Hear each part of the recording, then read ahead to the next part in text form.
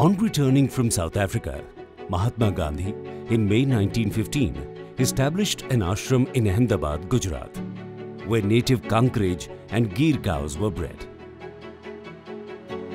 Post-independence, the Gaushala ashram was registered as Sabarmati Ashram Gaushala. In the initial years, bull and semen production was the main activity conducted at the Gaushala. In 1973, the management of the Gaushala was handed over to NDDB and thereafter the Gaushala became a hub for advanced bovine reproductive technologies. In 2013, NDDB transferred the management of the Gaushala to its subsidiary NDDB Dairy Services.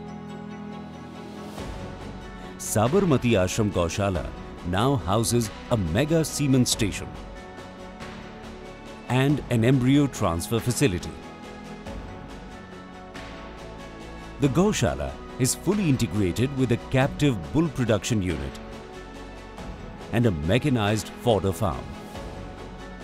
NDDB Dairy Services also manages Animal Breeding Center in Raebareli, UP, Alamadhi Semen Station in Tamil Nadu and Rahuri Semen Station in Maharashtra.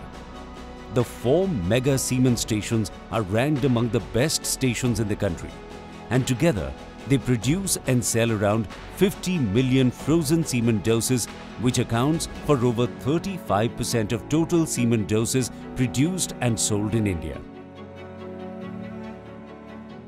All semen stations are ISO 9001 and GMP certified and equipped with world-class infrastructure.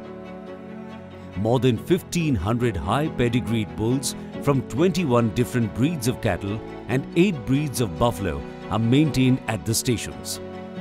All bulls are regularly screened to ensure optimum bovine health. To ensure biosecure environment for the bulls, even the fodder is homegrown. To contain the impact of farm operations on the environment, manure management is undertaken through production of biogas. In line with the various breed improvement initiatives of Government of India, NDDB Dairy Services is popularizing the embryo transfer technology in cattle and buffalo.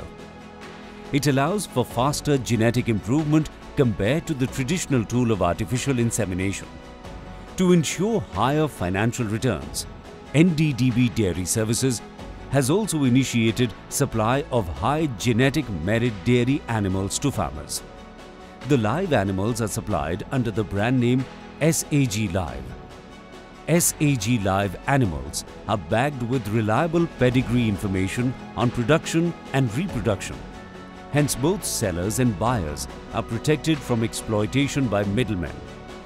The production and sales operations of frozen semen, embryos and live animals rendered by NDDB Dairy Services are housed under the brand Superior Animal Genetics, which has become the most revered brand among the dairy farmers in India. Superior Animal Genetics is committed to making dairying a profitable business for the dairy farmers by providing world-class animal husbandry technologies at their doorsteps.